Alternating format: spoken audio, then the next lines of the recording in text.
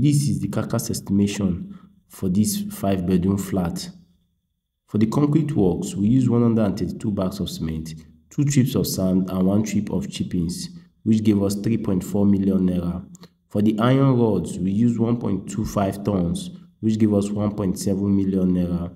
For the sand filling, we used 9 trips of sand, which gave us 1.5 million naira.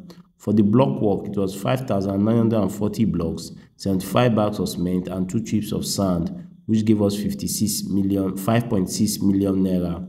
For the plastering and moldings, we used 100 bags of cement and 2 trips of sand, which gave us 3.4 million naira. For the parapets, we spent 3 million. For the roofing, 7 million. For the doors, 4 million. For the windows, 3 million. The project cost at this stage is 33 million naira. Remember, inflation waits for no one.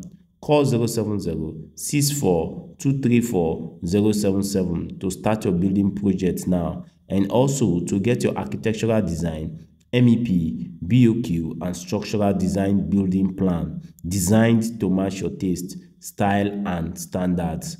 How much does it cost to build a five bedroom flat in Nigeria?